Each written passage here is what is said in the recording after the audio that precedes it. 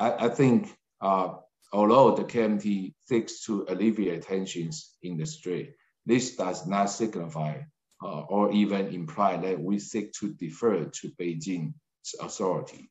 Just because we seek dialogue in order to work toward peace uh, does not make us pro-Beijing.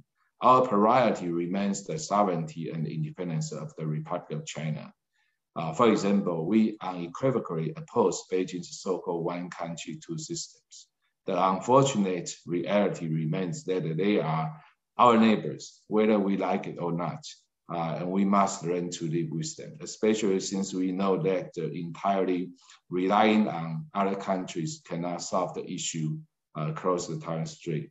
To sum up, the DPP approach approaches the cross strait uh, question only from the international level. The KMT considers this level too, but uh, we think also from the people to people